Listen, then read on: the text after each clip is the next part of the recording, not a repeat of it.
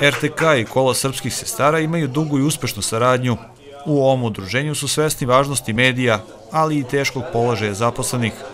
Zbog toga je Kolo odlučilo da na ugodišnjim paketićima obraduje decu zaposlenih u našoj medijskoj kući.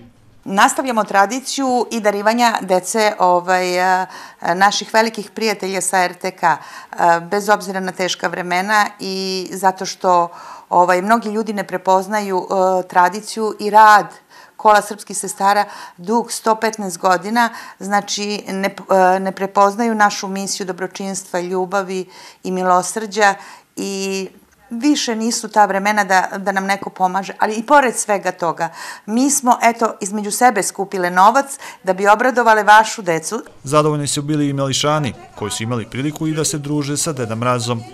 Pa da ja volim novu godinu što je Deda Mraz došao e, zbog paketića i zašto smo svi srećni tako.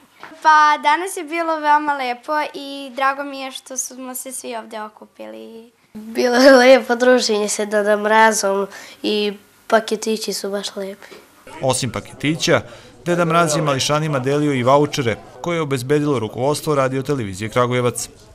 Naši prijatelji iz Kola srpskih sestara su uvek pomagali zaposlenima na radio televiziji Kragujevac. Našli su se uvek u, kada je bilo teško, kada zaposleni nisu primali platu i ono što je vrlo važno istaći, sestre iz Kola srpskih sestara su od svog novca to kupile, znači prikupile su međusobno, što je zaista jedan gest vredan divljenja i poštovanja.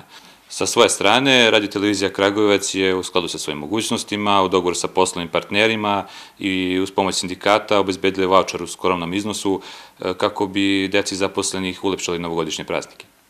Kolo srpskih sestara nagradilo je i pobednike literarnog konkursa koji je sproveden u školi 21. oktobar.